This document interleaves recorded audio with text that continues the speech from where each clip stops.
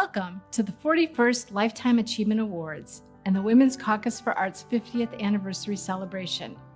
Occupy the moment, embracing our history, enhancing our impact. 50 years ago, in a meeting organized by Anne Sutherland Harris, 300 women met in an overflowing conference room at CAA, College Art Association, to tell their stories of gender discrimination in art. A hat was passed, contact information and money were collected, and the Women's Caucus of the College Art Association was born. In 1974, the organization became independent of CAA and was renamed the Women's Caucus for Art, WCA, in order to create their own vision and goals for the future. In 1979, the first WCA Lifetime Achievement Awards were awarded in President Carter's Oval Office to Isabel Bishop, Selma Burke, Alice Neel, Louise Nevelson, and Georgia O'Keeffe.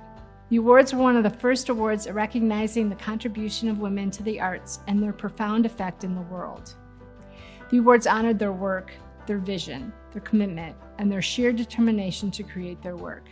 Women have made amazing advancements since 1972. However, 2022 finds us at a unique moment in time. The COVID 19 pandemic has dramatically altered our world. Deep seated gender and racial inequality has been unmasked and our rights are actively under political attack. It's clear that the fight for equity for women is far from over. The Lifetime Achievement Awards and the need for women to be in the arts, to be recognized, to be validated, to be heard, and to be acknowledged is more important than ever. We do this so that our future generations will see the depth and breadth of the important work that these women have contributed to the arts and to our society. The awards are a powerful history not only for the Women's Caucus for Art, but for everyone to share. These women's lives and accomplishments will be forever woven into the fabric of the history of our country and our culture. And so it is my distinct pleasure and great honor to present the 2022 Lifetime Achievement Awards to Lynda Benglis, Beate Minkovski,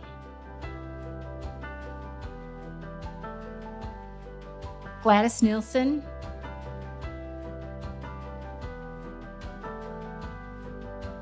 Lorraine O'Grady,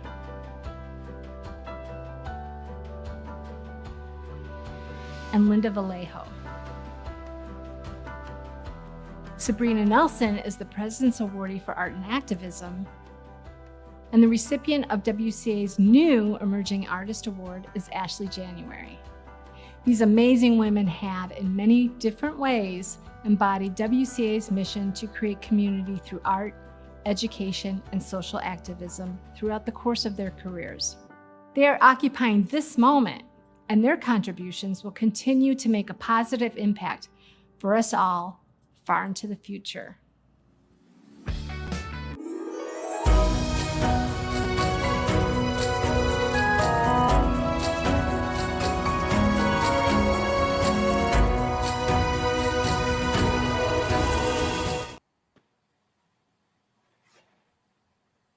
Well, we're back. Hi, everyone. That was such a wonderful, you know, history and opening to tonight, and it's just the beginning. Um, uh, welcome to the 41st WCA Lifetime Achievement Award video premiere. I am Donna Jackson, your host, well, one of your hosts, and the current WCA president. And I want to introduce our other two hosts um, Laura Morrison, who is the past president and the lovely face you just saw in the beginning of the video, and Sandra Davis, our president elect. So this has been a long time coming, been working on this for a little bit over a year. And now we are here. Um, as um, Laura said in the video, um, COVID has changed how we do things. And this is why we're on this platform. And isn't that right, Sandra? Um, talking about this great opportunity we have here. Absolutely. So I remember attending the conference in 2020, right before we shut down for COVID. And we had already agreed not to have a conference in 2021 because we really wanted to have an opportunity to really plan out our 50th anniversary. So, who knew by March 19th, we would all be in shutdown mode. And so we really wanted to have an opportunity for everybody who has the chance to view YouTube or Facebook or what have you to be able to experience the Lifetime Achievement Awards without having to leave the comfort of their home. And um, taking advantage of the technology that has now afforded us all to figure out a way to connect with each other across the country, across the globe. So I'm really, really happy um, to be part of this uh, achievement awardees. And um, I want to turn it over to Laura so she can explain a little bit more about what we're going to see tonight. Laura. All right. Well, thank you, Sandra. Thank you, Donna. Um, you know, I had a great time traveling on, around the country to honor these incredible women.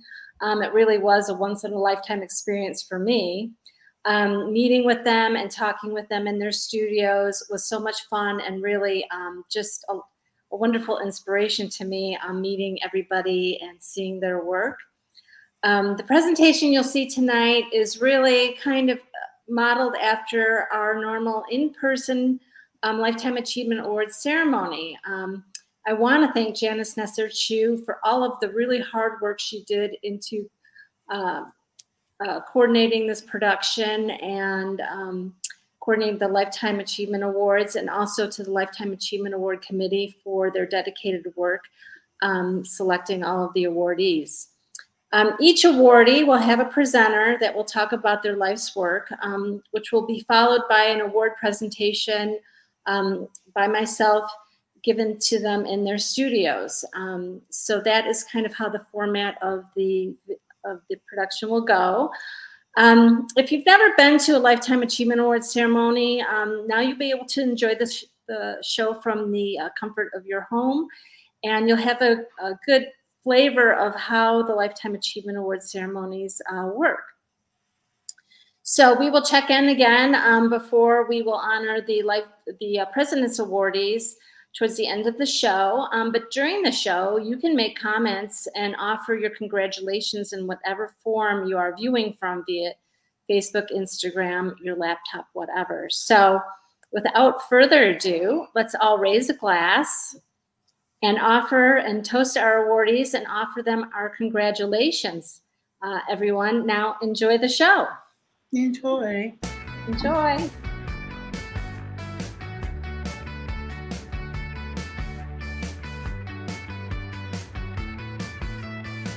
First honoree we are celebrating today is Lynda Benglis.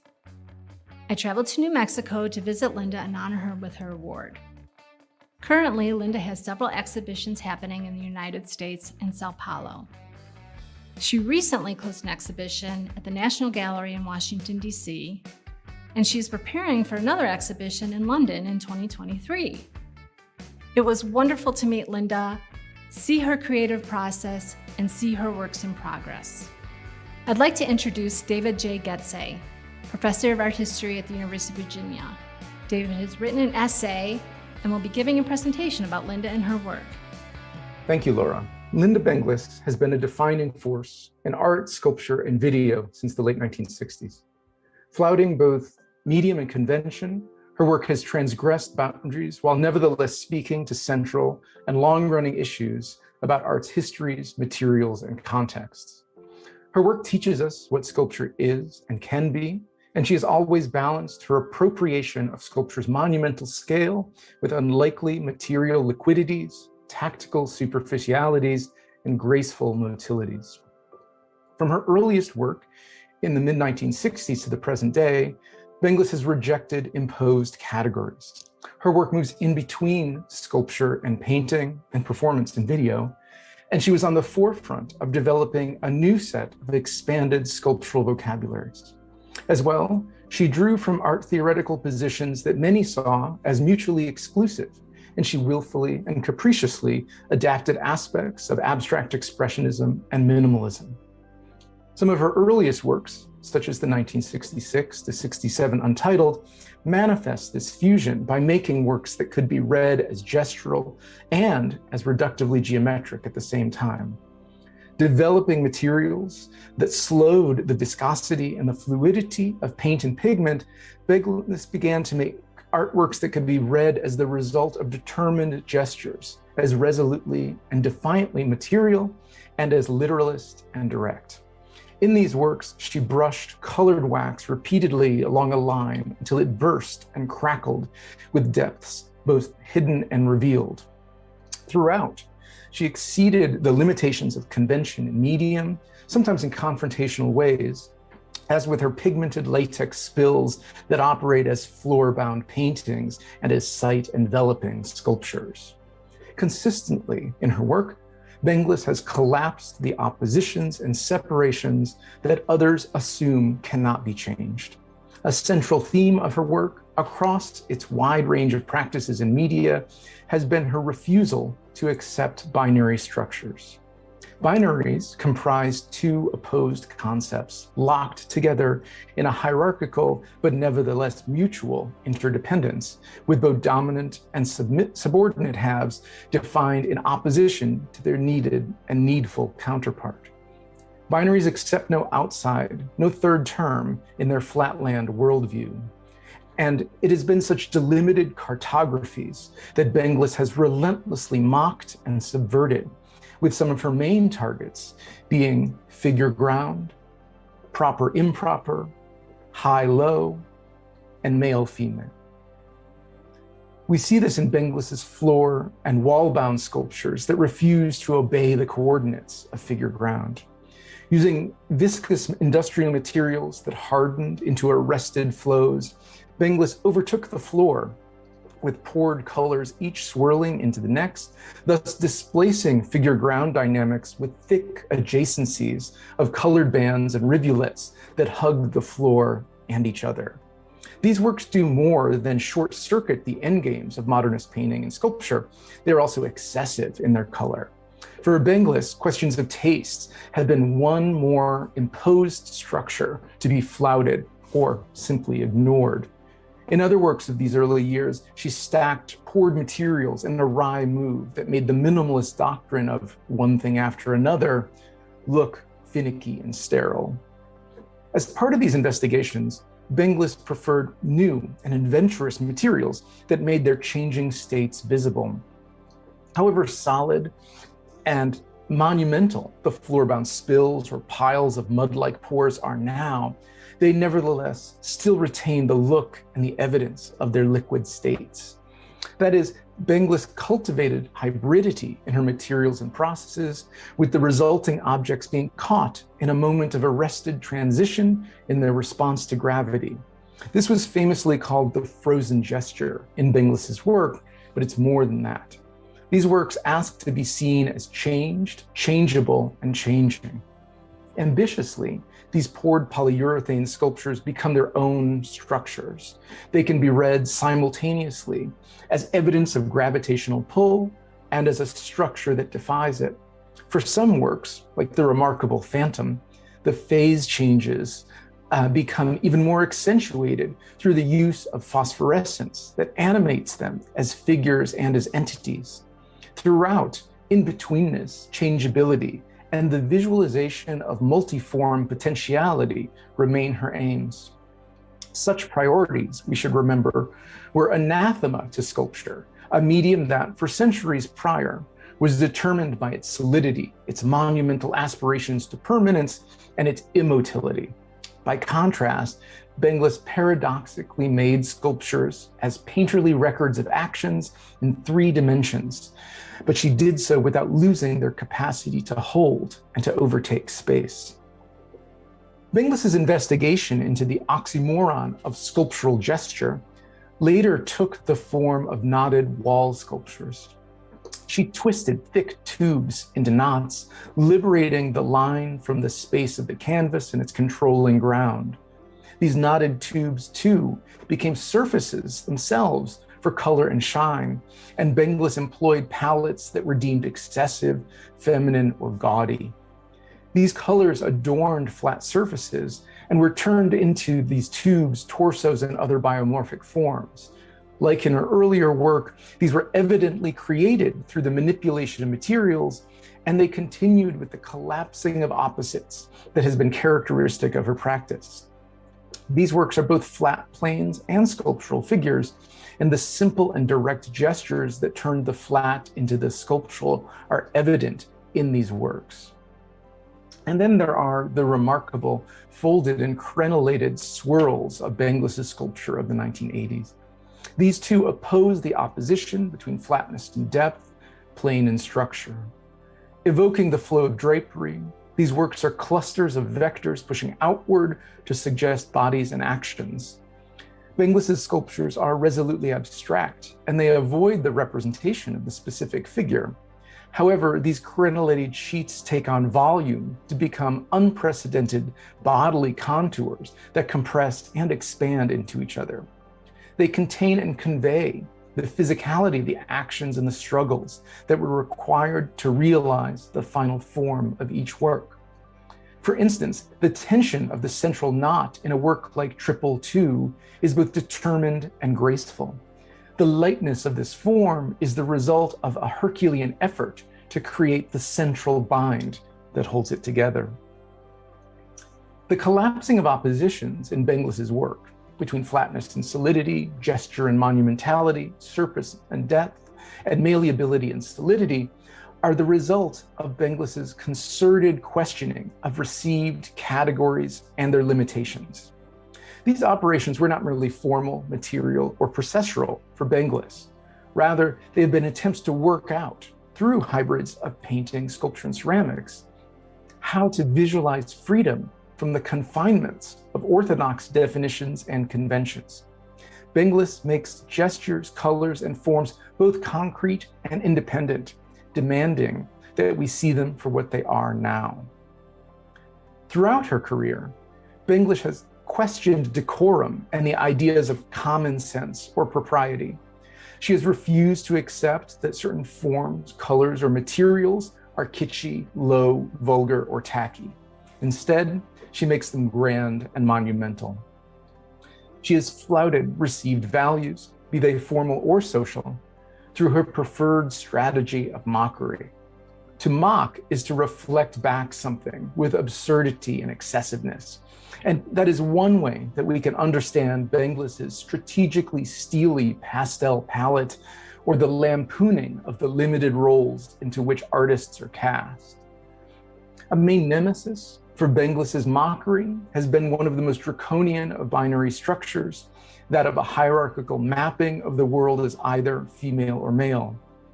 Drawing from the energy of the feminist movement since the 1970s, Benglis has rejected not just the hierarchies that placed men over women, she has also jettisoned the axiom that the world could be so neatly and reductively divided in the first place.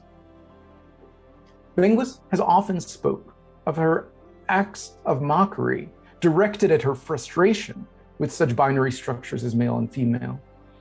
In their place, she has pursued mashups of gender's signification, the collapsing of binaries, perverse palettes, and most of all, an epicene potential in forms. Her knots and tubes exceed simple designations of the body or gender, and she has formed torsos out of limbs that rebuff being seen through the either or of gender assignment. This is perhaps more directly figured in Benglis's work of the early 1970s in video. And here I move back to this earlier part of her career to remind that Benglis was one of the most astute and adventurous artists working in video at that time. Her works are fundamental to an understanding of video art its relation to popular culture, and its capacities for feedback and disruption. In works such as Female Sensibility and Now, Benglis positioned herself between actor and image, sometimes literally performing with her own past actions recorded on video. As with her sculptures that refused binarism and sought moments of transitoriness or lability, Benglis's videos also sought a position between opposites. A recurring image in Benglis's video, one that I take to be both allegorical and organizing, is the tongue. The tongue is a bodily organ that commands eroticism beyond the division into male and female. Prehensile and tensile, the tongue in Benglis's work is an analog to the knotted forms of her Epicene sculptures that create their particularity anew with each twist and fold. One shouldn't forget that in Benglis's revolutionary video about an intersex talking dog, The Amazing Bow Wow, which was uh, created with Stanton Kaye in 1976, in that video, it is the tongue rather than the genitals that provides the denouement of that plot. The rolled sheets that become tubes, that become knots, that become surfaces of her sculptures of this time are related to the imagery that she was exploring in video. In both, the aim was to think about how bodies could be evoked without being imaged, and how the body could be imagined in open ended ways that spoke to its capacities rather than the limited ways that others saw them. I see Benglis's works in all their varieties as attempting to visualize such capacity for change, malleability, and changes of state. Even in the durable form of the public sculpture or fountain, Benglis's works remind us of the other phases these materials have gone through. Throughout, Benglis asks, asks us to see the solid as liquid and vice versa. Refusing opposition, Benglis keeps an active tension in her works that are composed of flat surfaces and spills that nevertheless command space. Or in her newest work that makes monumental handheld forms of extruded clay, we can see sophisticated and conceptually rich play with the constraints normally assumed of the sculptural and the pictorial. In Yellowtail, for instance, Benglis has strategically and perversely established a dynamic relationship between an endlessly malleable sculptural material, clay, that has been transformed into a flat plane only to be twisted into a sculptural Mobius that takes up space as well as offering an image of infinite surface. Cast in polished bronze, a traditional sculpture material, Yellowtail's reflectivity and shine further deflect our attention from solidity to that looping surface, as with the Mobius strip, that we can see the both sides of at once, despite its, its continuity as a single plane. Yellowtail speaks to and engages with some of the longest running debates about sculpture's relationship with and differentiation from painting, that is, of the solid versus the flat, while nevertheless refusing to accept that these things can be opposed or even distinguished. Now, I imagine that there might be some listening who are surprised that I have focused on such formalist concerns as flatness and depth or plain and solid. There are certainly other ways to navigate through the many pathways of Benglis's work. But what I find so compelling about that work is the ways that such simple and repeatable questions like these can become allegorical and themselves monumental. Benglis's works implode categories on purpose and ask us how we can see a given form for what it was and simultaneously how it can be transformed. Throughout, her work has positioned itself at a poised place in between opposed or successive states and it is from that position that it demands an openness to seeing things for their uniqueness and their capacity to be. However formal these tools are, the message of these works is nevertheless about how we might view each other in this same way. That is, as a result of the forces that made us, but as more than what we were told we could be. Humanism is the word that Benglis has often used to summarize her priorities. By this, she means something precise that of treating people as potential and particularity rather than viewing them through a pre existing set of assumptions or categories. Just as when she freed the gestural mark from the canvas or the wall, she demands that we see a form for what it can become. Thank you, David, for sharing the depth and breadth of Lynda's monumental works. We honor you, Lynda Benglis, for expanding the boundaries of media and gender with your endless exploration of techniques and materials. Congratulations. Thank you very much. What a lovely moment it is for me to accept this beautiful award. Well, we're very excited to have you as one of our awardees on our 50th year.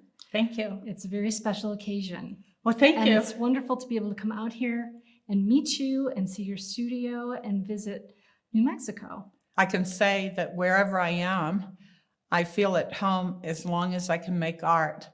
And uh, I think art is the process of being and of understanding uh, how you interpret your space and how you interpret uh, life and uh, the expression of feeling.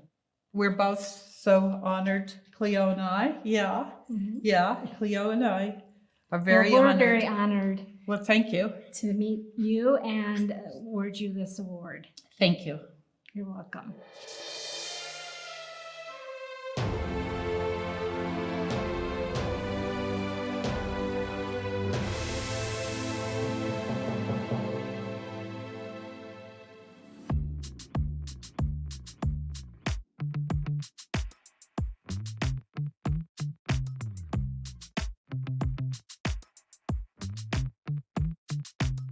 I'm at Woman Made Gallery in Chicago to meet co founder and former executive director Beate Minkovski. It is so fitting for the Women's Caucus for Art to honor Beate here at Woman Made Gallery, where the primary focus has been to offer exhibition opportunities to women artists. Since 1992, they have met their mission by showing work from thousands of women across the world in over 450 exhibitions. What a truly wonderful accomplishment! And now, artist and sculptor Mary Stoppert will talk about Beate's vision, mission, and her dedication to women in the arts.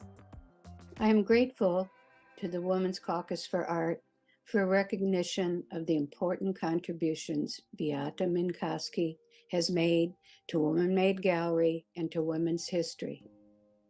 I am honored to present her story and accomplishments.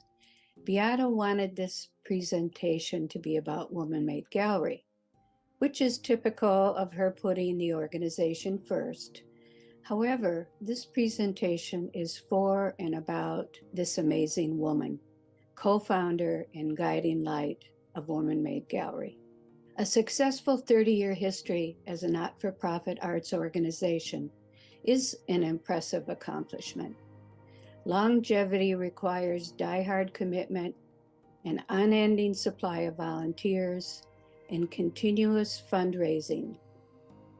Woman Made still exists mainly for three reasons its feminist mission, its continuous inclusive outreach, and the leadership of Beate Minkovski. Even after semi retiring from Woman Made in 2014, Beate served on the board of directors and helped facilitate the search for and hiring and training of new directors. She is currently an advisor and committee member. Woman Made has been sustained largely by grassroots contributors and the active leadership as co founder for 22 of its 30 years. Woman Made is a testament to a personal commitment for giving women access to an often inaccessible environment for artists. It was the winter of 1945. Six month old Beate Charlotte von Hoyningen Huene was hastily nestled in a wagon surrounded by her family's possession. As they fled the place of her birthplace in Nazi occupied Polish territory, with the Red Army front approaching, they were forced to flee westward to what was then Nazi Germany. Beate's challenging childhood, which included her parents' incarceration in an English prisoner of war camp, left a lasting impression. Her parents' determination to survive yet nurture the family helped form the strong character needed to achieve her successes, both personal and professional. Beate Minkovski has been the beating heart and soul of Woman Made Gallery since its inception. A strong sense of family and duty are attributes that originate from her family's struggles to survive and flourish in an occupied World War II Germany. Being the eldest of five children, she was an expected and natural caretaker. Her role as a nurturer has never really diminished as Beate married and at 22 years old emigrated to the US where she would raise ch- five children of her own. Her approach to co founding, developing, and sustaining Woman Made was not unlike she has been with her own family. Beate introduces herself on her Facebook page in this exact order mother, grandmother, feminist, artist, and co founder of Woman Made Gallery. Yes, mother and then grandmother. So, in spite of her many years as a leader of Woman Made, she values those maternal roles. Her mother, Gisela, was and is a guiding force who was self taught but was accomplished in many realms. She was talented and shared the love of art with Beate. Her special relationship with her mother also explains Beate's management style. Woman Made is the child she has guided from birth to maturity, and of which she has now become the symbolic grandmother. There has always been the presence of nurturing and caring in Beate's approaches to problem solving and her management style. Her background and studies were in art and no formal business or administrative studies. She has wisely used her survival instincts and learned to seek the collaboration of others to balance the work and address areas in which she feels less accomplished. Beate is a natural communicator, and she has used these skills well to recruit excellent support and expertise as it was needed. Her friendly and caring demeanor lends confidence to the unconfident, gives presence to the unrecognized. Hers is a gift that has helped so many less secure and shy women artists find their voices. All that said, she can still be very direct and at times brutally honest, all meant to teach and motivate. I have watched Beate's growth since she was my student. She returned to school at 44 years old after raising five children and she was very focused and motivated. She quickly became the art department darling as she efficiently kept the studios functioning as a valued and trusted student aid and art scholarship student. Beate and Kelly Henson were natural buddies, both sculpture students and returning adults. They joined a group of focused, like minded, and also returning women art students who encouraged each other. In 1992, Beate and Kelly, another stellar student, decided to rent and refurbish a vacant Chicago Ravenswood Manor neighborhood store in which to display their Northeastern Illinois University senior thesis ex- exhibitions. I found this consistent with the way the two had approached their four years as art students fearless, committed, and just a bit crazy. It was a narrow storefront that shared a long north facing wall with the Ravenswood L train station and tracks. The train rumbled by with frequency mere feet away on the ground level. The sound and sensation were like the patriarchy was monitoring the sacred and rich activity within. Located in an old business district, one block long on each side of the Rockwell station, there was a ready made audience, which included a mix of L train commuters and longtime residents. Many were immigrants shopping the neighborhood. The location may not seem an unusual choice for a studio, gallery, and cafe, but these two artists are about to create a space for and about women with no subject considered taboo. Their thesis exhibition art addressed the variety of stereotypes of how and the patriarchy portrayed women, and thus the title Man Made Woman. The theme in art in this in, inaugural exhibition might be considered moderate today, but the silent and mostly unseen art by women artists was about to speak through this new gallery venue. This was the very beginning of years of challenging subjects and themes that Woman Made would commit to exploring in their program. That is the marvel of Woman Made Gallery history. The organization has persevered and grown in spite of its unblinking and unapologetic feminist stance.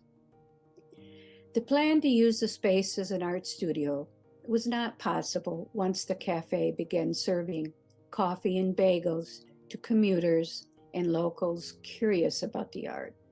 The policy to welcome all who visited, no matter their demeanor, and the challengers did visit, never changed, and Beate was always a willing, enthusiastic educator. Good news traveled fast and their calls via networking and media, calls for women artists to exhibit and become members, created an immediate and unexpectedly positive response. A call for art for the first exhibition, Women Do Women, brought such a rapid response from women needing in our community that the first Woman Made Gallery exhibition was in place within weeks of their own gallery opening. Woman Made happened organically. It became an organization driven by a need and a demand for a receptive and professional environment for women artists. In 1993, Woman Made Gallery formed its first advisory board and filed as a 501c3 not for profit entity. The first call for a woman made gallery artist registry was created, and it still exists to this day in the form of member gallery pages online.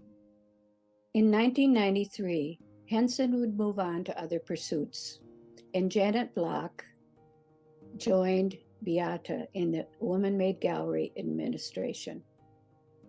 The formative calls for art group themed exhibitions would continue addressing all manner of women's issues domestic violence, women's health, gender and sexuality, and family and child endangerment. In 1994, artist Pamela Callahan joined to lend her expertise.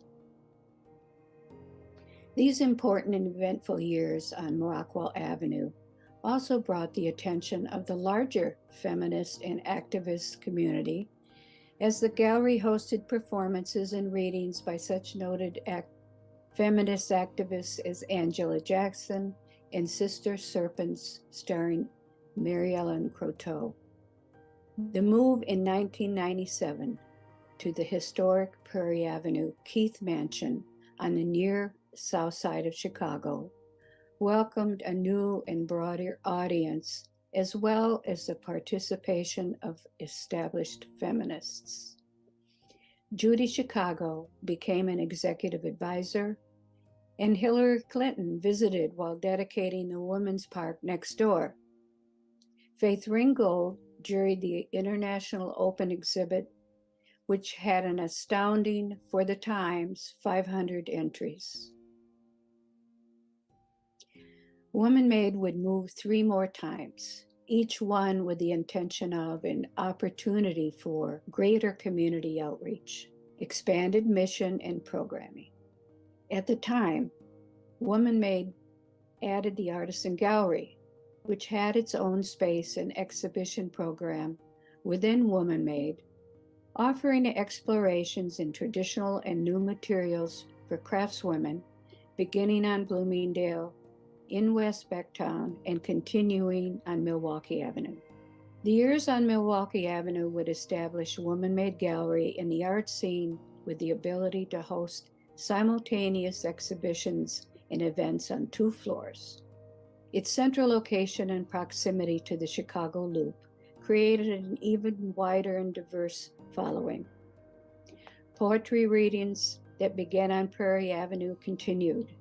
The neighborhood outreach workshops and exhibitions with neighborhood children and adults was very popular. In 2017, Woman Made moved its current location at the Lacuna Lofts on Chicago's near South Side. Social media has helped extend Woman Made's message and outreach nationally and internationally.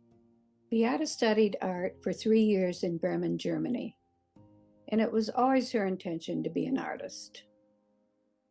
When she came to Northeastern to resume her art career, it was apparent to all the art faculty that she was very talented. In 1992, after Woman Made Gallery came into being, her art making slowly gave way to building the organization. During her 22 years directing Woman Made Gallery, there would be limited opportunities for the focus and development of her own work. Since retirement, she has returned to her studio and is finding new expression. Beate has been spending long awaited quality time with her family, both near and far. With five children and 10 grandchildren, she has been able to spend quality one on one time with each. Friends she has made over the years also receive a dedicated day for studio visits, museum outings, and lunches, tea, and much love. Travel is also on her agenda with visits to family in Canada and Germany and beyond. Beate and husband Michael are enjoying this time together. He has always been there for her, originally an old school man, learning to make sense out of these women with a mission. Every woman made gallery location bears Mike's imprint in some manner with his skills as master electrician and fixer. Thank you both for your generous gifts. Thank you, Mary. You have beautifully honored Beate in all of her self identified roles mother, grandmother, feminist, artist, and co founder of Women Made Gallery. Her tenacity and dedication to lifting up women in the arts is truly inspiring. We honor you, Beate Minkovski, co founder of Women Made Gallery, for your commitment to promote women in the arts and provide access to marginalized groups. Congratulations on your Lifetime Achievement Award. I'm so grateful. Thank you so very much. We feel very blessed that you are one of our awardees. Thank you. It's a great honor. You're welcome. Congratulations to the Women's Caucus for Art Mhm. for celebrating your 50th anniversary, Thank you. while Woman Made has its 30th Mhm. anniversary. What a great honor to receive the 2022 Women's Caucus for Art Lifetime Achievement Award from an organization whose mission and work I admire and that had inspired me and my work for Woman Made Gallery. It amazes me to be recognized for something that feels second nature to me, that has enriched me with lifelong friendships and a community where I feel at home. Mm-hmm. I am proud to be in such fabulous company. And I'm congratulating my co recipients, noted artist Lynda Benglis, Gladys Nilsson, Lorraine O'Grady, and Linda Vallejo. And congratulations also to Sabrina Nelson for receiving the President's Award for the art and activism that she's doing. And to Ashley January, who received the New Emerging Artist Mhm. Award. I think that's so fabulous that Thank you're you. giving that. We're excited. I want to thank my family, my husband Misha, our five children and 10 grandchildren, for their unwavering love and support. And gratitude to my friend and mentor, Mary Stoppert, who was my professor at NEIU, Northeastern Illinois University, and who freed the feminist in me. And thank you to my friend and rabble rouser, Kelly Hansen, with whom I began Woman Made Gallery in 1992. Mm-hmm. And also, of course, to Janet Block, who guided Woman Made on my site for 10 years. And guess what? what? She taught me how to ask for money. and then there was Pamela Callahan, who always came to the rescue just when it was needed. There are so many individuals to thank artists like Marianne Courtauld, mm-hmm. Brenda Oelbaum, Karin Luna, who yes. I miss. Uh, I miss her art. I have four pieces. From, you know, I'm getting off track here, but they are my sisters in arms. Mm-hmm. They really are my sisters in arms. It takes a mega village to do this work, and I'm sharing my award with all those in individuals who have impacted Woman Made Gallery and who are there now to hold up the organization. Because without that talented, wise, powerful community, generous community, I wouldn't be standing here mm-hmm. today. Nobody can do it on their own. Right. As the Woman Made uh, Caucus for Art turns a fabulous 50, Woman Made celebrates its 30th anniversary that sounds like a mother daughter. It does. Or mentor mentee relationship. Yes, I would think it does, so. right? Yes. And I'm so glad we celebrate these important milestones together. Thank you to Janice Nesser-Chu for her really amazing work and patience, and gratitude to the Honor Awards Section Committee and to mm-hmm. the entire team who made this virtual celebration possible. Thank you to outgoing WCA President, you, Laura Morrison. You. Thank you for your important work. And welcome and congratulations to the new Women's Caucus of Art President, Donna Jackson. You know what? Our work must continue. Happy 50th, WCA, and thank you for the great honor. I wish my parents were still here on this earth to witness, and they are. Yes. Thank you. Thank you. Thank you. What Thank a touching you. tribute. Thank you.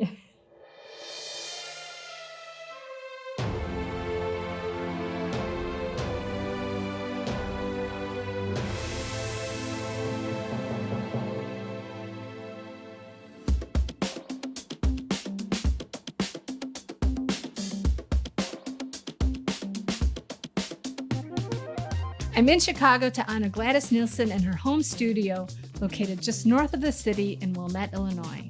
Gladys is busy creating new watercolors for her upcoming exhibition at Garth Greenan Gallery this November.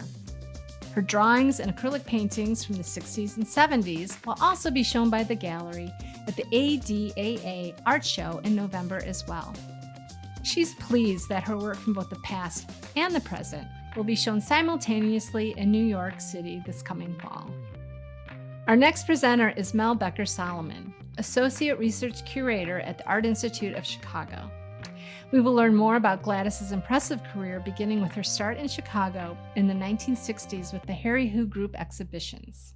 My name is Mel Becker Solomon, and I'm honored to be presenting a WCA Lifetime Achievement Award to the magnificent Chicago based artist Gladys Nelson.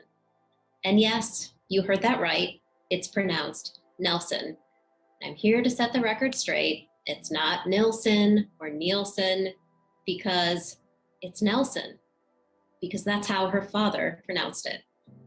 But you aren't here for a lesson in phonetics, but rather to celebrate a truly remarkable artist. For over 50 years, Nelson's artwork has employed wit, drama, and especially humor to hold a mirror up to the human condition. Nelson playfully incorporates observations from the everyday into her densely packed and magical worlds on paper.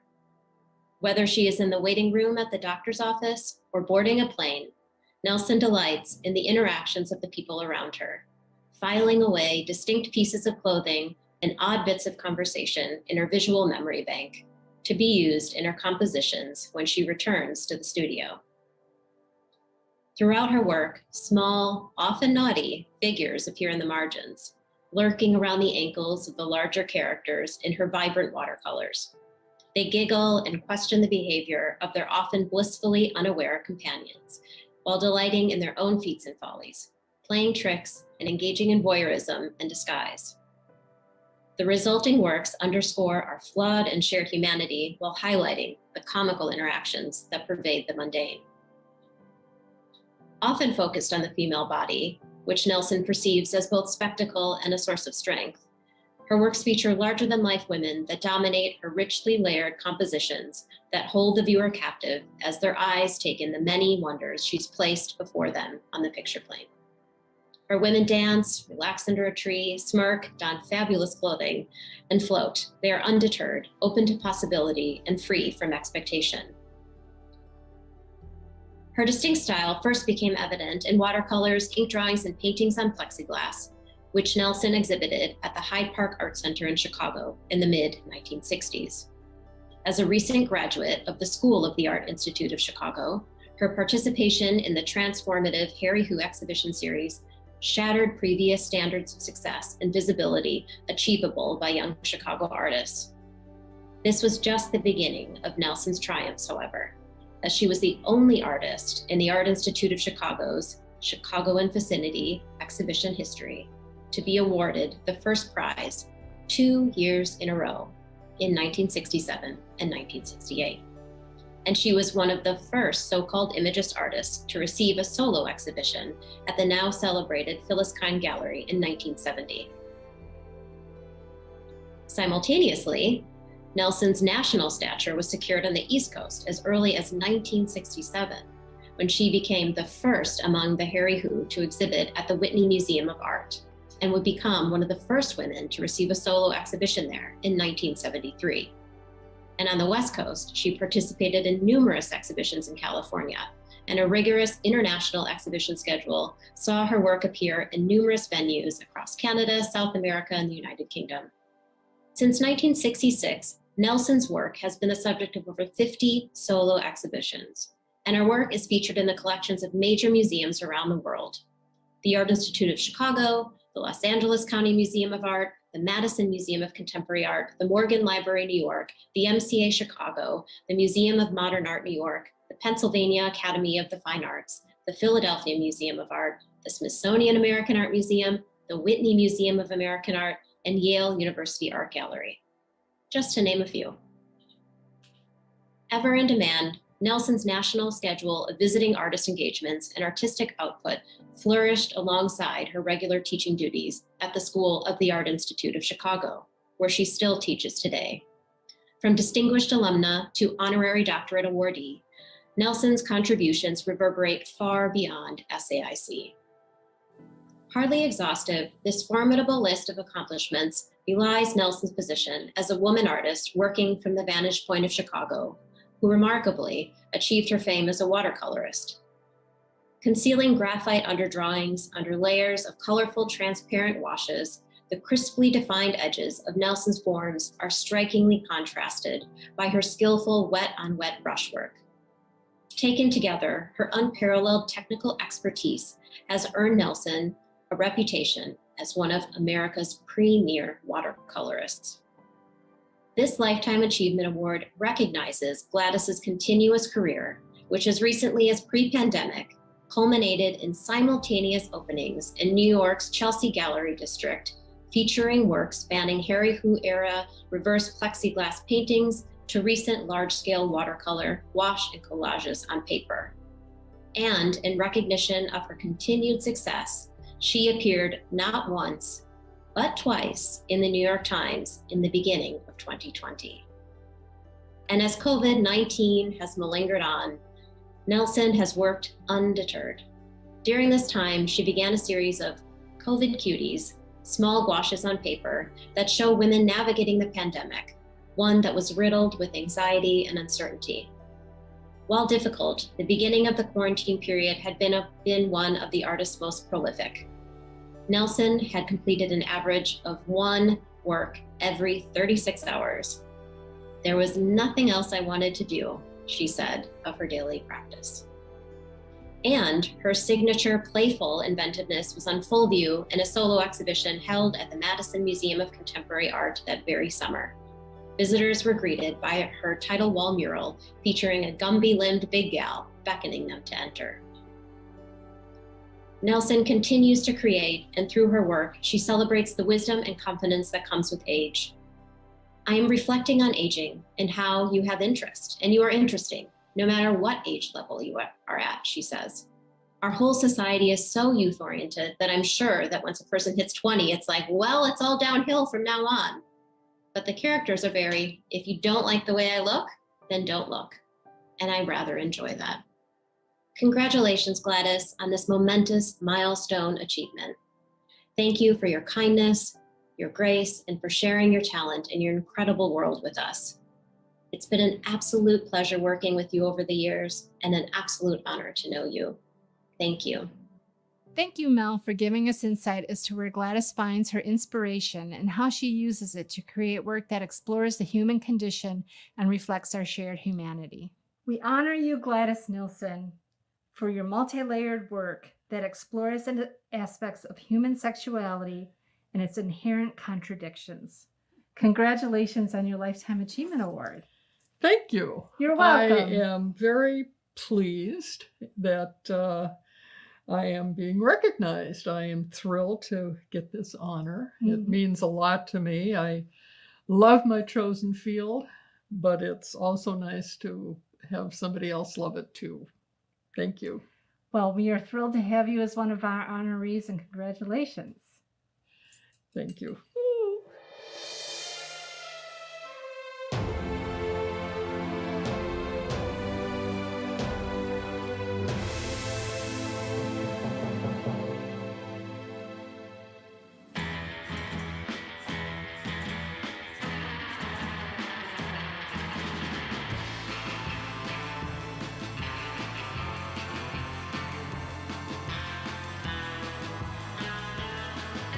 Am in New York City celebrating Lorraine O'Grady.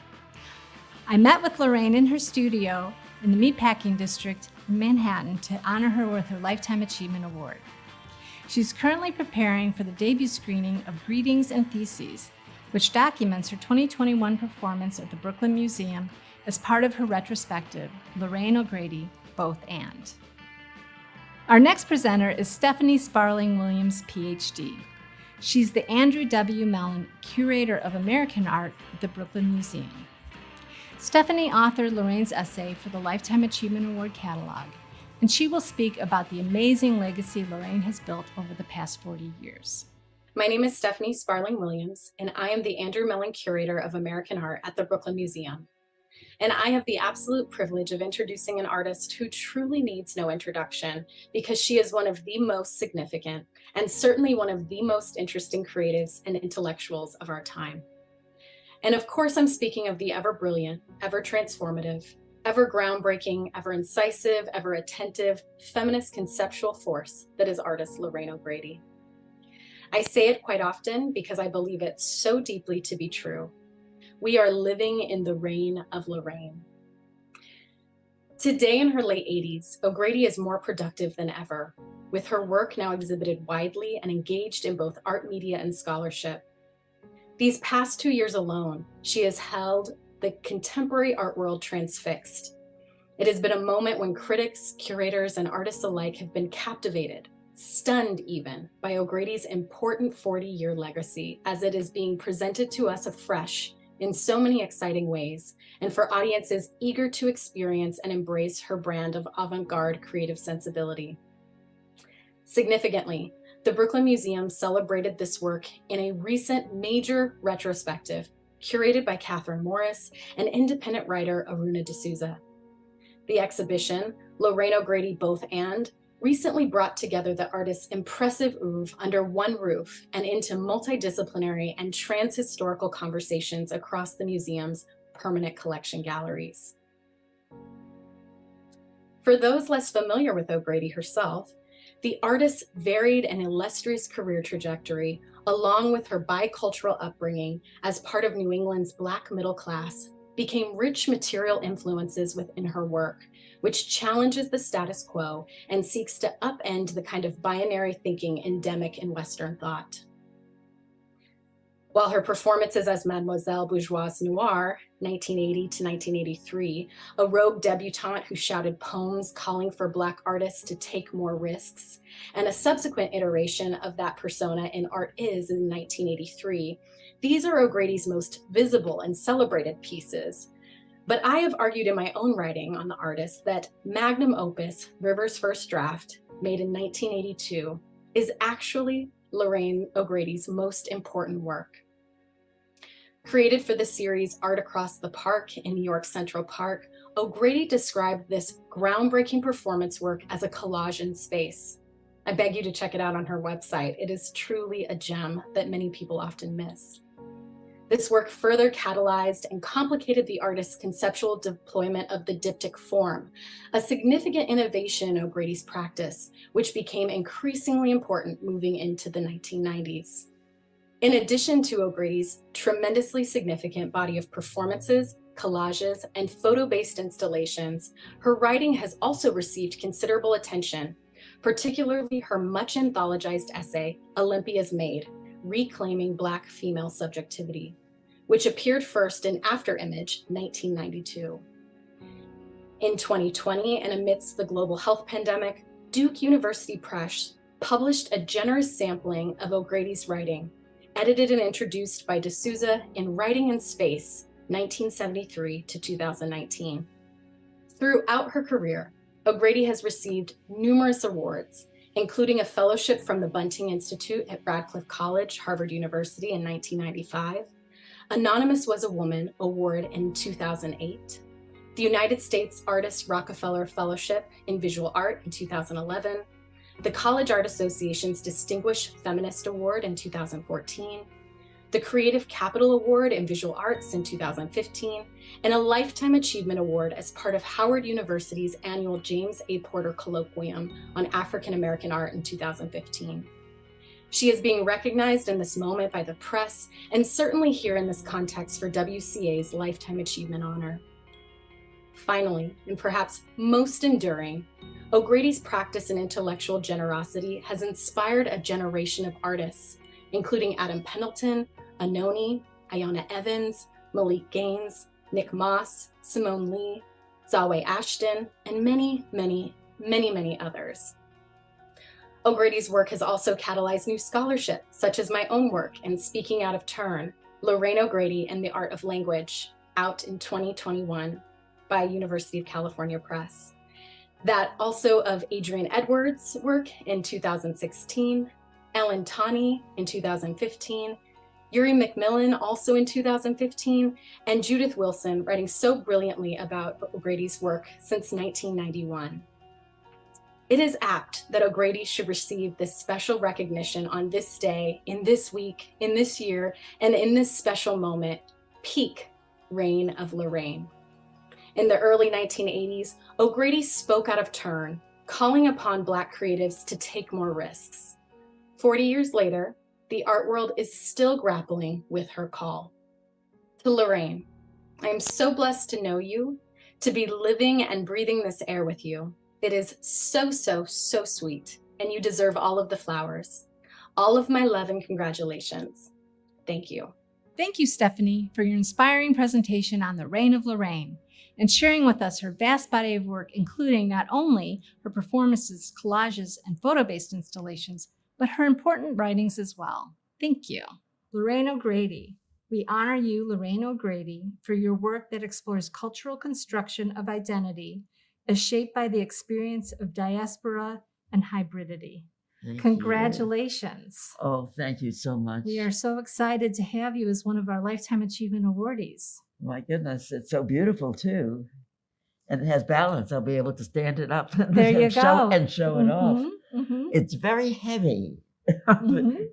Wow. You know, I am so uh, thrilled to be to receive this honor, um, especially in the 50th anniversary. But the when you look at the women who've received it, you know, you just can't help but feel proud to be Mm-hmm. part of that company.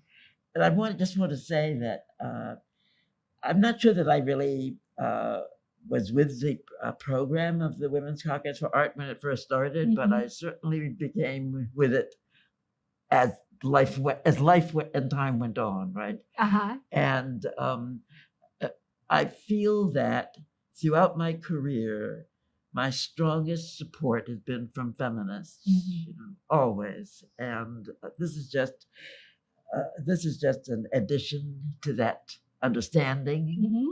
And I I can't tell you how grateful I am, or appreciative, I should say, not grateful, but very appreciative of this award. Well, thank you. And we couldn't be more thrilled to have you as one of our awardees. It's very exciting. You have a, uh, amazing career and you are an inspiration to us all. Thank you. You're welcome. Thank you.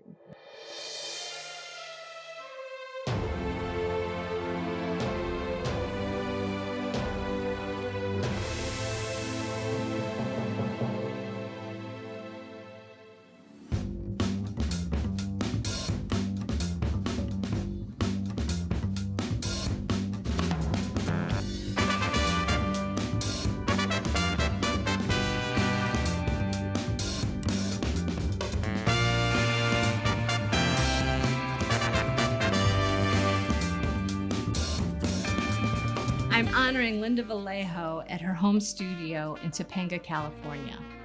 She's looking forward to her solo exhibition at D2 Gallery in Westwood, California, featuring her newest Objects of Opulence, which are full size Victorian rooms painted with milk chocolate brown polka dots and surrounded by objects from the Victorian Gilded Age. I'd like to introduce curator, author, visual artist, and educator Amalia Mesa Bains. Amalia first met Linda through a Chicana artist community back at the very start of Linda's career.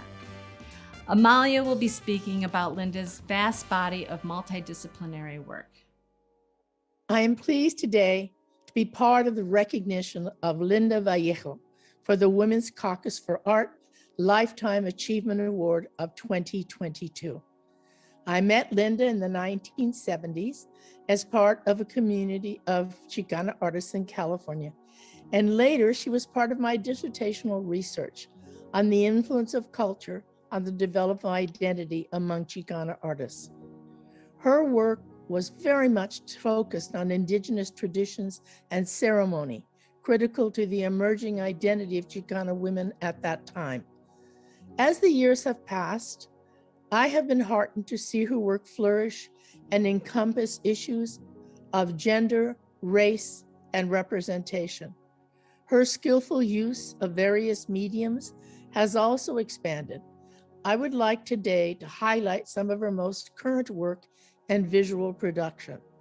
Linda Vallejo creates work that visualizes what it means to be a person of color in the US and particularly for women of color. Her work reflects the experiences and knowledge gathered over four decades of engagement with the Latino, Chicano, and American indigenous communities. In the 1970s and 80s in Los Angeles, she worked in the Chicano community with self help graphics, the feminist community at the Women's Building, and African American community at William Grant Still Community Arts and Brockman Gallery. She also owned Galeria Las Americas, presenting contemporary Latino and Chicano arts for many years. In 2018, she participated in seven of the Getty Pacific Standard Time initiatives, co curating Day of the Dead, A Legacy, Past, Present, and Future, at Self Help Graphics, and presented the opening ceremony for the Doing It in Public Feminism and Art at the Women's Building. She was a visiting instructor for Otis College Public Practice MFA program. She's been a mentor for Mujeres de Maíz, a feminist collective, and volunteered for Native and Chicana indigenous circles with a 15 year commitment to incarcerated women. The Los Angeles based artist has spent the better part of the last decade infusing biting humor into her multidisciplinary work. The result is Brown Belongings, an expansive body of work containing multiple series that explore what Vallejo calls her brown intellectual property. the experiences, knowledge, and emotion she's gathered from over four decades of immersive Chicano and Chicana and Indigenous American studies. During her more than 40 year career, Vallejo has worked across a variety of medium, including screen printing, painting, drawing, and sculpture, and has been featured in numerous exhibitions and publications. Her work is held in the permanent collections of the East Los Angeles College Vincent Price Museum, the National Museum of Mexican Art in Chicago, the Carnegie Art Museum in Oxnard, California, and the Los Angeles County Museum of Art, and also the University of California, Santa Barbara, California Multicultural and Ethnic Archives.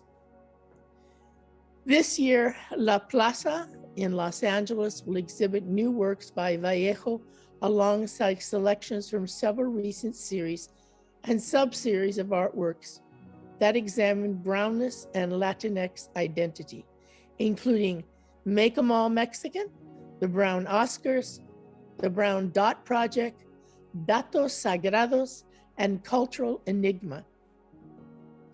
I'd like now to show some of those images.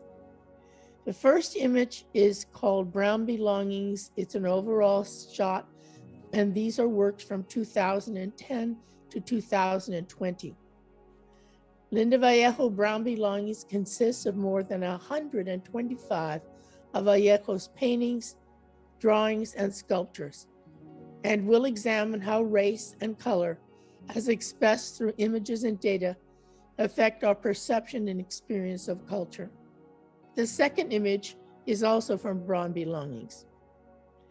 At the same time, these works ask us how embracing brownness can allow us to creatively question, deflect, and resist stereotypes and assumptions about Latinx people. Work from different series will combine in thematic groupings throughout La Plaza's galleries, allowing the visitors to see ideas that resonate across Vallejo's body of work. This next image, La Victoria, from Make 'em All Mexican, takes classic representations of beauty and transforms them as brown figures, including the winged victory of Samothrace from the Hellenic period, embraced as often thought of as the perfect figure. The detail of uh, La Victoria also transforms with other symbols of beauty, such as Andy Warhol's Marilyn Monroe and the Mona Lisa as brown figures. The Three Graces, once again, Vallejo proposes the neoclassical Canova statues of the Three Graces to be seen as brown. The Three Graces or Charities are the daughters of Zeus who entertain his guests with their beauty and charm. Her works ask us to question the history of beauty, race, power, and even desirability. Superman, perhaps one of the most potent figures of strength, heroes, and power, the newly brown Superman gives these qualities to a man of color, a Mexican. Fred and Barney from Make 'em All Mexican even takes up the figures of humor and joy and popular culture. The COVID chair, among the Brown belongings, Vallejo designates Brown as the COVID chair, acknowledging the high number of COVID cases and deaths disproportionate to the Latinx population. Some data put the number as high as one quarter to one third of all COVID deaths. Little Boy Blue. In this series, the classical figure of Little Boy Blue by Gainsborough a painting once considered one of the most expensive in the world and which was purchased by American railroad magnate Henry Huntington from the UK museums. Vallejo has transformed Little Boy Blue into a Mexican brown figure for the tradition of Days of the Dead, which often honor the death of children on November 1st. Little Boy Blue is also about race, representation, and the melding of cultural tradition. The Coca Cola can, in the objects of the Brown belongings, Vallejo transforms a ubiquitous Mexican Coca Cola bottle with indigenous textile patterns.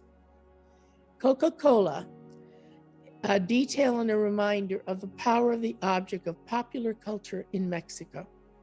Datos sagrados, or sacred data. 75.5% of immigrants are lawful. In this series, Vallejo turns her investigative eye to the data on Mexicans that is so often used against us to portray negative perceptions, particularly in this period of divisiveness in America. Datos Sagrados 43.3% of farmers are Latino. These sacred data illuminate the role of Mexicans and other Latinos in the world of agriculture, especially in California, and are particularly telling in the coming age of climate change, where agricultural worlds will change. Datos Sagrados 91.2% of Los Angeles East Side are Latino. With the data, Vallejo creates a visual and cultural picture of Latinos in Los Angeles. And one of the most intriguing, the Brown Oscars. The LA Times talks about the Brown Oscars, and this work calls attention to the glaring absence of Latinos both in front of the screen and behind the camera, and the pervasive single standard for beauty, which is white. Linda has integrated the race, gender, and representation throughout her career from early work to the incredible tour de force of Brown belongings. Linda Vallejo has kept her commitments to cultural equity as well as gender equity. And as many intersectional feminists, her support for women is woven through the issues of race and representation. Her work with the Southern California Caucus for the Arts at the Santa Ana College Gallery in Stories of Land in 2021, as well as her inclusion in Her Land, the exhibition from the collection, of the Museum of Latin American Art, are but a few of her recent exhibitions.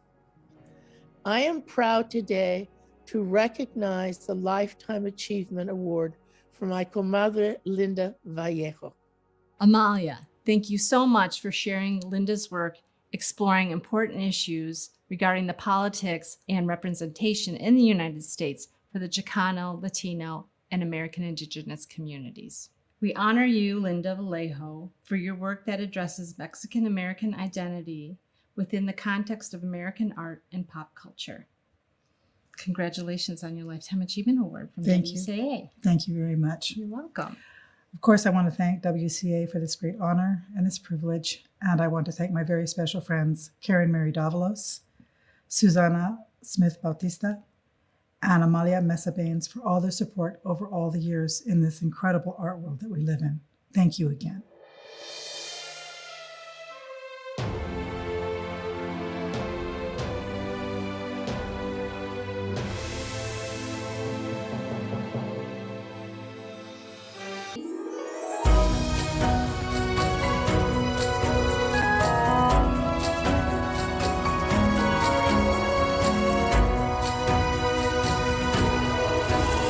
Hey everyone, we're back. That was truly amazing. You know, um, we've been watching this over and over again, but in this way of technically dot here, um, lighting here, but to sit and watch it with you all and to like take in it as a whole, it's just been a real pleasure. So I'm going to yeah, I'm going to share a few things and then I'm going to hand it to Laura to like tell us a little bit more about her experience. But there were some things that just popped out tonight for me, like um, when Linda said, "Wherever I am, I feel at home as long as I can make art." And like I'm putting that on the shirt tomorrow.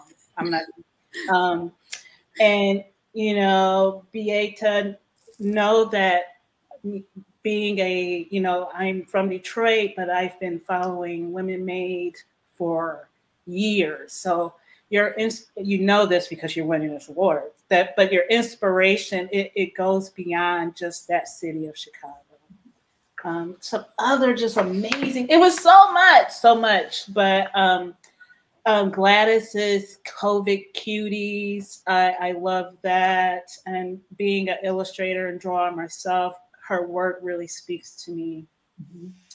Lorraine O'Grady to be doing amazing work into your her 80s mm-hmm. and continuing to do that that was an inspiration to me. And I saw a comment that said, Oh, I feel lazy, you know, because of all this work they're churning out. Don't feel bad. I, I feel the same way, but we got time. That's what this is telling us. We got time to do it. Um, I've been like cyber stalking Linda Vallejo for like the last couple of years, and to see her her work from um, Make Them All Mexican I just I just love that. So it was so much to see. I'm glad I'm getting this chance to kind of see it with everyone. And just want to ask Laura, like you got a chance to go into the studios and see everything. Could you just share what that experience was like? Well, for me, it was an experience of a lifetime being able to go into all of these amazing artist studios and spaces and see their work and have long conversations with them while the film crew was setting up all of their lights and cameras. Um, I had a lot of favorite moments. Um, kind of go through each one a little bit. Uh, Lynda Benglis' studio in the desert was just amazing. Um, the light was incredible. To see her work in person was a true treat. Um, I just had so much fun talking to her. And um, also, I have to say, I loved her little dog, Cleo, who just goes with her everywhere. Um, so that was uh, my first kickoff it was at Lynda Benglis' studio. Um, Gladys, Gladys and I just had the longest, nicest conversation and chat while they were, uh, the guys were setting up. We talked a lot about process for process, which I always find very intriguing. I love to learn about all of the artist's processes and how they work. Um, so that was fascinating for me. Uh, Lorraine just really blew me away with her video work and her technology. And I have to say, watching her do her sword exercises was a lot of fun. We all had a great time with her.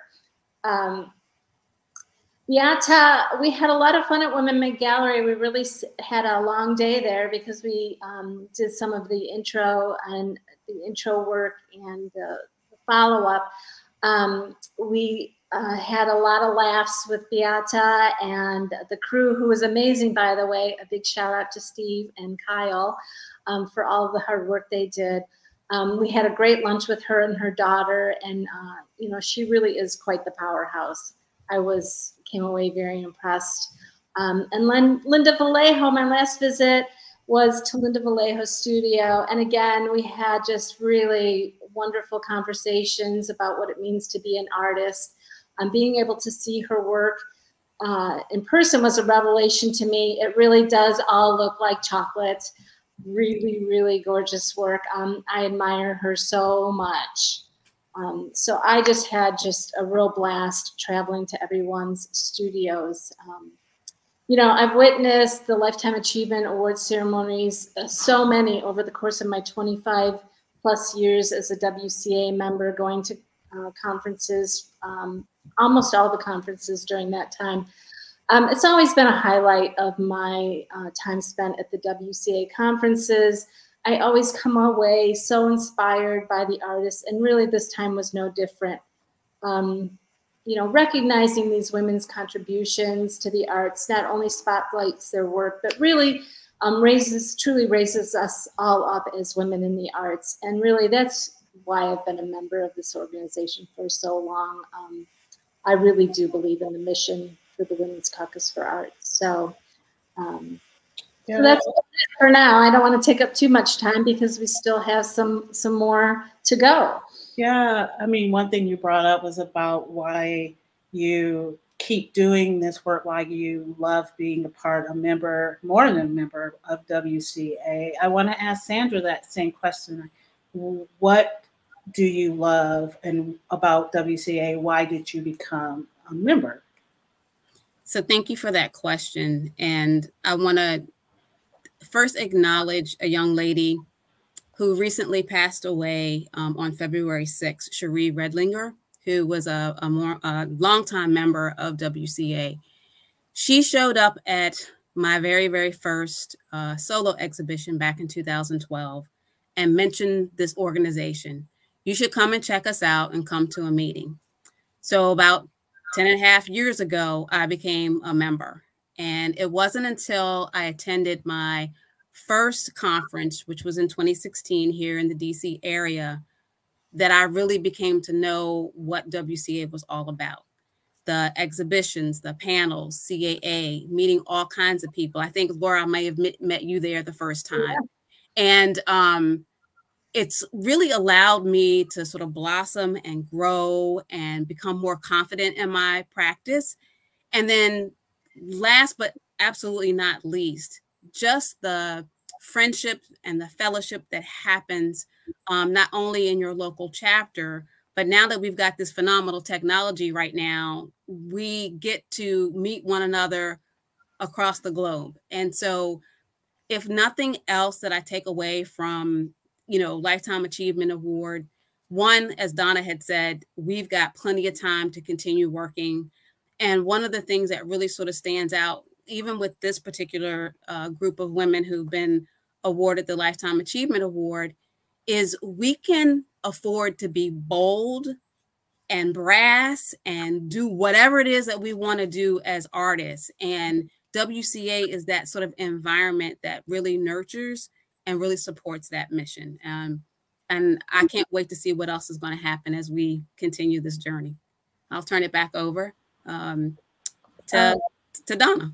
Yeah, yeah. So I mean, I I'm the I've been in part of this group a little less time than both of you ladies. Um, and what brought me here is more practical reasons. Uh, I learned about WCA through a friend, became a member.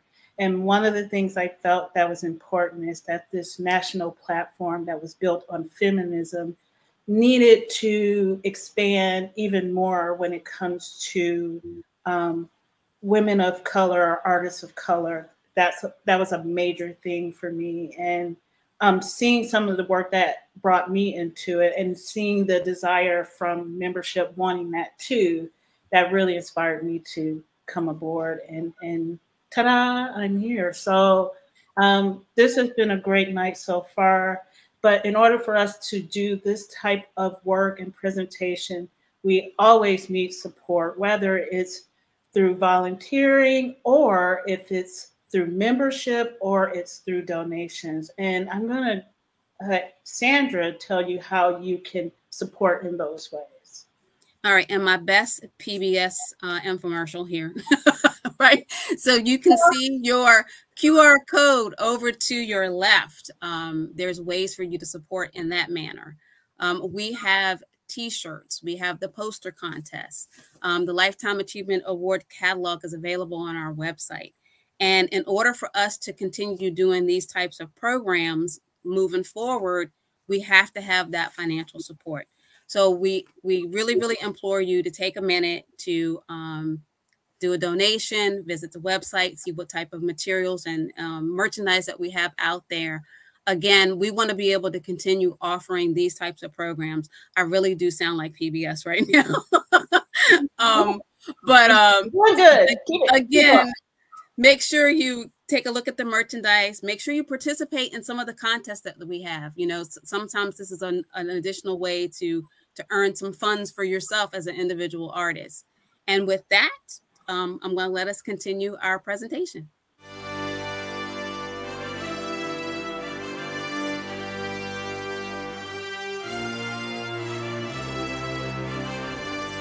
The President's Award for Art and Activism recognizes mid career women in the arts whose life and work exemplify WCA's mission statement creating community through art, education, and social activism. We are pleased to award Detroit artist Sabrina Nelson President's Award for Art and Activism. Her work references the experiences of Black women in our current landscape, and her activism supports and builds the creative culture in her native city of Detroit. Her roots run deep in the city of Detroit, and she is a force in building and supporting the creative culture in the city she loves so dearly. She calls herself an artivist, a person who uses their creative voice to talk about the time they live in. Beginning as a painter, she received her degree from Detroit's College for Creative Studies. She has moved into all matters of mixed media, and the scope of her work includes painting, drawing, sculpture, objects, murals, and installations. Much of her work is figurative and references the experiences of Black women and mothers in the current landscape. I was especially moved by her Why You Wanna Fly Blackbird series, which she has worked on over the course of several years. The work is about Black women losing their children, young and old, to violent death. Her seductive artwork invites you in, then delivers a visceral mourning experience. Paintings and drawings of blackbirds, combined with powerful installations of empty bird cages representing empty wombs, tucked inside of the floating dresses, bring forth a deep sadness for those precious lives taken and all of the potential that is lost with them. Her powerful work demands recognition that a life is a life, a human is a human. Sabrina is committed to mentoring and supporting young artists and designers in the business of making it as an artist. For over 25 years, she has worked in arts administration at the College for Creative Studies and the Detroit Institute of Arts, where she motivates and prepares students to pursue art degrees in Detroit. Sabrina has lectured on the preservation of Black feminism in art at the Charles H. Wright Museum of African American History in Detroit. She is a guest curator at both the Carr Center and the Music Hall Performing Arts Center. She's judged numerous art competitions, curated art talks and exhibits, and conducted artist interviews for the City of Detroit's culture video channel, My Detroit Cable. She's a 2021 Kresge Artist Fellow. Her work has been exhibited at the Detroit Institute of Arts, the Charles H. Wright Museum of African American History, the Museum of Contemporary Art Detroit, the African American Art and Culture Complex in San Francisco, Art Basel, and the American University in Paris. Her work is in the Charles H. Wright Museum of African American History's permanent collection and private collections throughout the United States. We honor you, Sabrina Nelson, for your work building and supporting Detroit's creative culture. Congratulations on your President's Award for Art and Activism, Sabrina. We are so pleased and honored to have you as our President's Awardee for 2022. Thank you so much. I want to say thank you to the Women's Caucus for Art, Laura, Donna. I really appreciate this, and um, I'm overwhelmed with it. I should say, you know, I'm I consider myself a womanist, and so when the Women's Caucus for Arts uh, let me know that I won for what I call artivism. It certainly um, touched my heart and my womb and my brain and my being and my womaning. So I really, really, really appreciate being seen by other beings who are like me, who come with their wombs and, you know, uh, as Jessica Care Moore says, we carry in us constellations that are waiting to be named whether it's the birth of art, the birth of our children, the birth of nurturing others.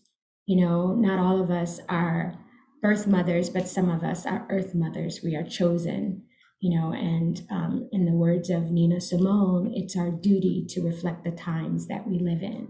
So, for your emerging artist and for art and activism, we are reflecting what we see. We are the um, the folks who bear witness to the times that we live in. And so losing my father to the the coronavirus in uh, April of 2020, you know, I look to the birds, the corvid birds of the crow and the raven, who, like the poetic terms for a group of crows is called a murder of crows. And the poetic term for a group of ravens is called an unkindness of ravens or a conspiracy of ravens. So as we live in this time and die in this time, Um, I'm thinking about all the empty nests, like the one behind me, where they will not return, um, and all the wombs that carry these babies, and some of them have to bury them.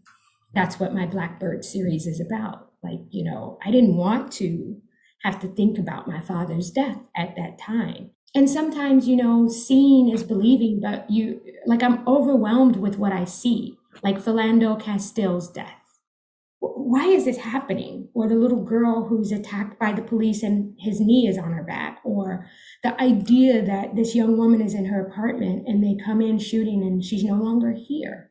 So just thinking about the idea that we have control when we really don't, you know, and we have to figure out not what we can do um, always to, to stop it, but how do we react to it? And so for me, using my artwork is the best thing I can do because that's the only muscles I feel like I have. It's my voice. And so if I can say, don't kill us, if I can say it didn't start with Emmett Till, if I can say Sandra Bland shouldn't have died by getting a stopping ticket for whatever she dealt with, if I can say stop killing Indigenous children and brown women who don't look like they're valued in their community. Stop taking them. And that's what I feel like my blackbirds represent. And so if you can see that, thank you. Sometimes I'm preaching to the choir, right?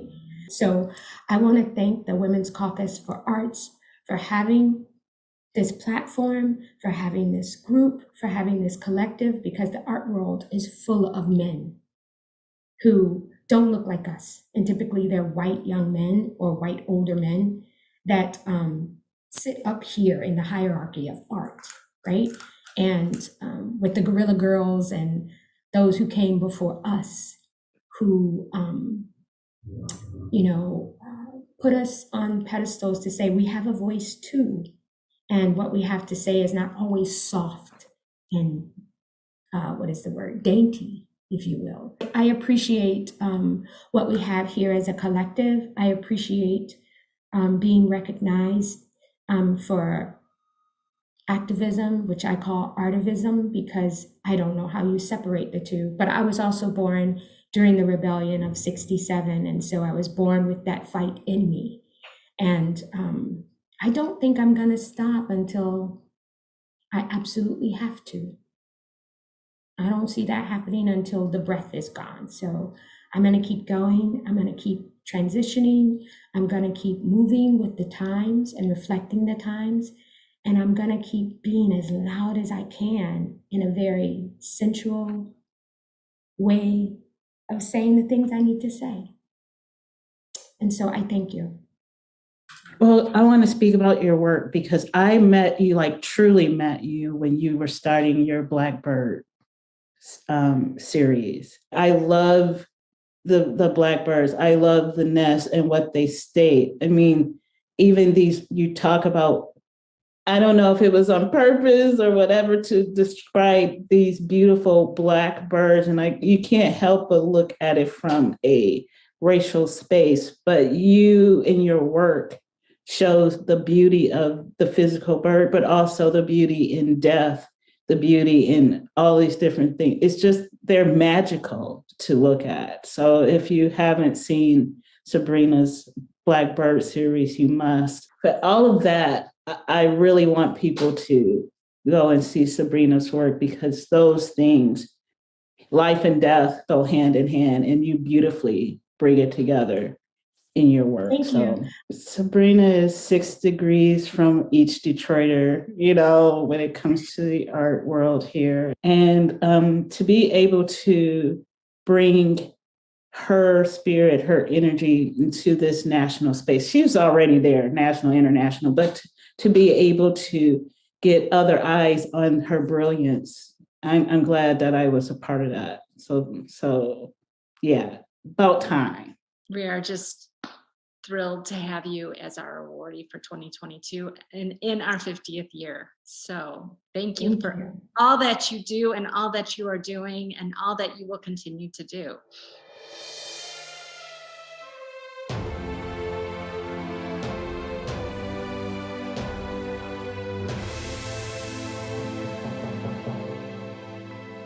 In celebration of the 50th year of the Women's Caucus for Art, a new President's Award has been created to honor up and coming artists who embody the future in the arts for women with the new WCA Emerging Artist Award. Chicago artist Ashley January is our very first Emerging Artist Awardee.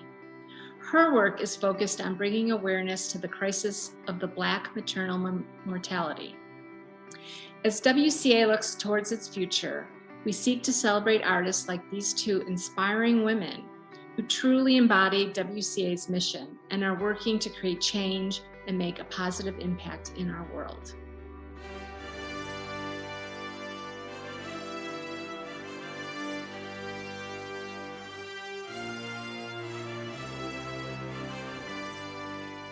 Chicago artist Ashley January's recent work addresses the growing crisis of Black women's maternal mortality and morbidity rates in the United States. Her series of paintings combined with sound narratives of Black mothers who have been diagnosed with preeclampsia and their children who were born prematurely serve as a call to action for more awareness and research to eradicate unnecessary maternal and infant death. The work stems from her experience with her first pregnancy ending abruptly with a traumatic delivery. She was diagnosed with preeclampsia at 32 weeks and two days later prematurely delivered her two pound, 13 ounce baby boy. Both survived, but the outcome could have been very different. Black women are three to four times more likely to die from pregnancy related complications than white women. Through her figurative paintings and portraits, Ashley uplifts Black mothers and children. She has been drawing figures since she was a child and has a fascination with depicting emotive faces and gestures in her work. She feels that portraiture is a powerful tool to document the current time and represent people who matter. As she says, Black people in particular need to be seen by everyone, and especially by themselves in institutions around the world. Born in Rantoul, Illinois in 1987, Ashley earned her MFA at the Laguna College of Art and Design in 2017 and her bachelor's degree from Bradley University. Ashley exhibits her work throughout the United States. She received the first place award at Woman Made Gallery's 2018 Midwest Open Juried Exhibition for her piece Identity Fragmentation, a Self Portrait, 2017. Her work Family Portrait received the Beverly Bank Best of Show Award at the Beverly Art Center's 2017 annual competition, and she was a round three juried winner for the 2016 Art Slant Prize. She's volunteered her time for Girls STEAM Ahead, which serves 7th to 12th grade females students, bringing them together with women working in STEAM fields. She worked as a representative for the Laguna College of Art and Design for Graduate National Portfolio Day, and she sponsored a team in her son's honor for the March of Dimes annual March for Babies. She volunteers through her sorority, Alpha Kappa Alpha Inc., in their Target One initiative, hashtag CAP, college admission process, which assists students applying to colleges. Through hashtag CAP, Ashley helps young women considering a profession in the arts. So if you'd like to hold it up for us so we can see it. yeah, looks great. Okay. honor you, Ashley January, for your Thank contemporary you. portraiture uplifting and honoring Black mothers and their children. Congratulations on being the very first WCA Emerging Artist Awardee. Um, I'm overwhelmed with gratitude to have been selected to receive the 2022 Women's Caucus for Art Emerging Artist Award. Thank you all so much for being here to share this occasion. I am so honored and I want to express deep gratitude to have my work recognized in this way by the Women's Caucus for Art. Many years went into this project, and it means so much to me that the work that I am so passionate about also resonates with others. I just want to briefly reflect on how I got to this point.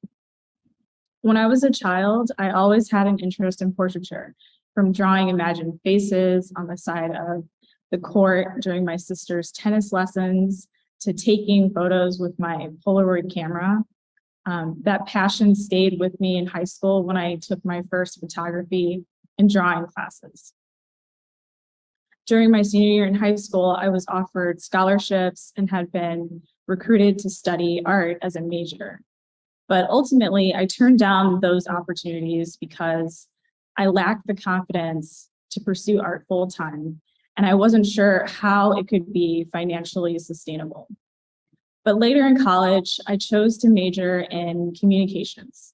I specialized in advertising. Um, I felt that I needed to earn a degree that was going to support my independence post graduation. But I also chose to minor in studio art because I couldn't fully detach myself from the arts. I knew art making was something I would return to and continue to practice in some shape or form throughout my life. It was my gift, I believe. It wasn't until later on, after working in marketing and event planning, that I realized I needed to hone my craft professionally. I later enrolled at a local atelier to help build my foundational drawing and painting skills and my confidence. It took me a long time to even call myself an artist. I felt that there's so much to the history of the title artist, and there's so much heaviness that weighs in that title. But after building my portfolio for two and a half years, I applied to one graduate school program at the Laguna College of Art and Design. And I received my MFA in painting in 2017. And soon um, afterwards, I started my motherhood journey, which ultimately led to this latest body of work. So this accomplishment is not something that I did alone, and there are many others who deserve to share in this award. I would like to thank Kyle, my husband, for all the emotional support and your continued stability. I wouldn't be able to find the time to dedicate to my practice if not for your support and hard work and consistently taking care of us. Sarah, for being my studio assistant for the past three years while juggling your college career. Family members and friends who consistently showed up to me, showed up to support me at shows whenever I asked them to. And thank you to everyone who provided emotional support education, and insight along the way. My parents, June and Gregory, and my other parents, Denise and Gary. Thank you for your love and support throughout my artistic career. I especially want to thank all of the mothers and children who chose to participate in this initiative to help bring awareness to the Black maternal health crisis. To the children who participated in this project, Quinn, Nina, Dylan, and Samuel. You all continue to persevere and bring light into the world with your gifts, despite all the odds that come along with premature birth. Thank you to the mothers, Pia, Crystal, and Amber. You allowed me to document your moments of joy and peace in your personal dwelling spaces with your children and your family. It takes courage to show vulnerability and speak your truth so that others are better informed. Without your willingness to use your voice in this way and recount the trauma that you suffered during your pregnancy and postpartum, I would not have been able to shed light on this issue in this particularly delicate way. Last but not least, thank you to the Women's Caucus for Art for offering recognition to emerging artists like myself I hope that this recognition of my work can serve as an inspiration to others working in the arts. Because of this award, I was offered my first solo show at the Beverly Arts Center, currently going on now on the south side of Chicago. Uh, thank you, Kevin, for the opportunity to utilize that space and showcase my work. In working towards bridging the gap, it is critical for art institutions to provide opportunities for women artists of color to participate and showcase their artwork. By focusing on important issues through my work, I aim to make some type of positive impact and change. If my work can make any type of positive change, so can yours. My efforts bringing awareness to the Black maternal health crisis has only just started. I look forward to working with healthcare professionals and finding solutions to the disparities that disproportionately affect Black, Brown, and Indigenous women and children. I think art can carve out a dialogue that questions our own humanity and how we can make it better for future generations. I'm humbled and appreciative. Thank you so much. Your work is just so amazing and so timely um, with everything that's going on um, with Roe v. Wade to speak about this specific um, challenge that Black women, Black mothers are having, and then to do it in such a beautiful way. Like I have a list of favorites. So um, I, I'm glad that I could be part of this. I'm thankful that Laura brought me in. And I think a lot of artists and definitely female artists could understand that space of one, can I even take on this um, title of artist because that means something that Right. you maybe didn't feel like you were. And Exactly. but they can't take that away from you now. You're like completely deep down artiste. You can even make that your middle name if you want. Artiste. Ashley Artiste January.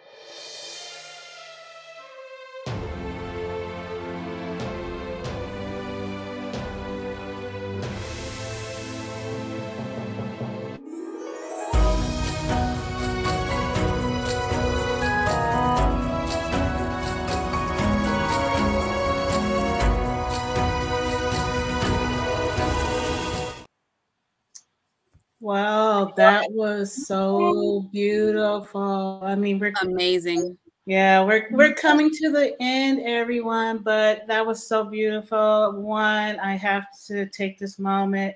My homegirl from Detroit getting the President's Award. I am so grateful to see that. She is as amazing as you saw her here. She's like quadruply more amazing in person.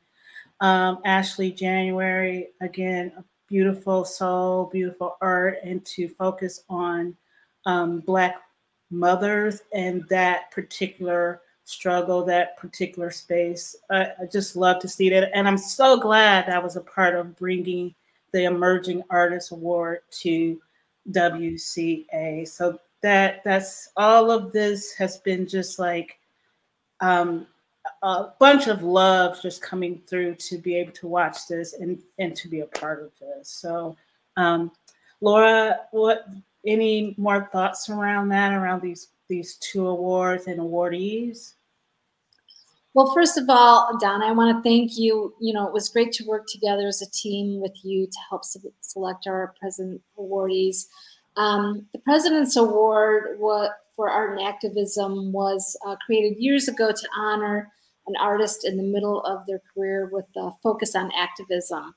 Um, and then in our 50th year, we really wanted to bring it full circle um, and include an Emerging Artist Award that recognizes an amazing artist at the beginning of her career so that we can really kind of start uh, the next 50 years with an eye towards the future, um, expanding our mission on um, supporting women and recognizing women doing exceptional work in the arts. Um, and it just was um, so delightful to um, have these conversations online uh, with Sabrina and Ashley while we were giving them the awards uh, via Zoom. So we had to do it a little differently for these two, but it felt just as special. And um, they are both very impressive women. So honored to have them both as our awardees this year. I, I totally agree with you. Um, you know, with the Zoom, we thought maybe we wouldn't have the same experience, but it was just as intimate and such a and as rewarding to do it even over Zoom. And this is the thing. I hope you had an amazing time seeing this and and being able to celebrate with these women tonight. But in order for us to do this on a regular basis and expand our support for women artists, we need your support, whether it be from donations or purchasing some of our products, meaning like our the catalog, which is amazing. We also have posters that were created by women artists that they get a percentage of the the um, commission that comes from you buying those posters as well as the t-shirt. These are ways that you can um, have fabulous art and fabulous wear on your body, but also supporting WCA and women artists. And uh, Sandra's going to give us a little bit more about that. Go ahead, take it, PBS. All right. anyway, thanks everybody. So again, uh, don't forget the QR code is to the left of your screen. We are, um, you've got the text message going across the bottom there. And again, the Lifetime Achievement Catalog, I think I've collected one from each uh, conference I've been to. What a wonderful way to support our organization and to support our uh, sister artists. Um, you know, again, when the t-shirt contest comes out, you want to make sure that you submit your design. You want to, again, you're you're you're adding some financial benefit to the artist that creates those t-shirts, but you're also giving back. Make sure that you take a peek at our website. Again, the QR code is to your left. You can text message your donation that's scrolling down at the bottom. And do not hesitate to visit the website to see all the merchandise that's available. And with that, I'm going to turn it back over to Laura. All right.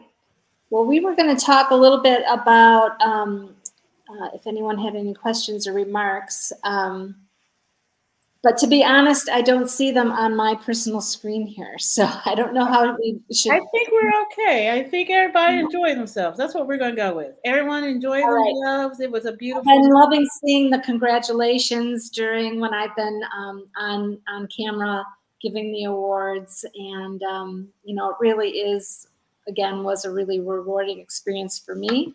Um, but I hope for you all too, watching the awards in person, uh, in person, and in the comfort of your own home.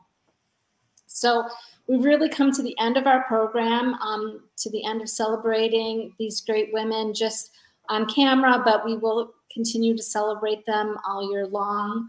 Um, I want to thank you so much for being a part of our program. Um, and I really want to thank again uh, Janice Nesser Chu and the Lifetime Achievement Award Committee for all of the work that goes into not only selecting our awardees each and every year, but also for creating this award presentation. Um, you know, thank you um, for all that you do.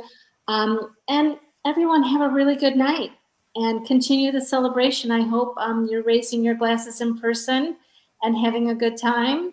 Um, and have a wonderful evening. Take care, everyone.